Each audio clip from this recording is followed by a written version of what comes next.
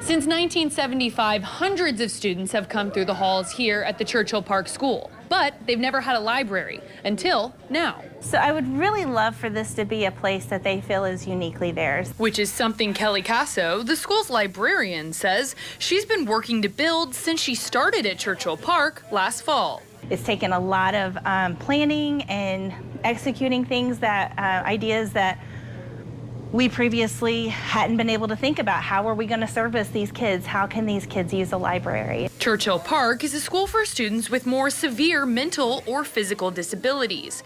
The new library is filled with sensory tools, games, and specially adapted books so every student at the school is able to use it. A lot of our kids, they're nonverbal, but they can feel, and it gives them the sense of, you know, how a book you know, the pictures of the book where they cannot see, they can actually feel their way through the book.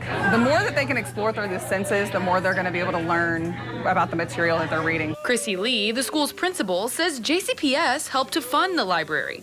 All 87 students at Churchill Park will visit it as much as possible. They'll be coming in at least once a week um, during either their language arts class, science, social studies, and then our librarian is also creating special lessons that she's going to do once a month with them as well. When students got their first peek at the new space on Thursday, their smiles and laughs were worth a thousand words, which is what both Casso and Lee were hoping for. A good time. We're gonna have a good time. Anytime our kiddos get to get out of the classroom and come into a related arts class and just explore is so fun for them. I want them to just feel at home, but I want it to be a magical place for them where they can, you know, experience books in a different way. Addie Miners, WLKY News.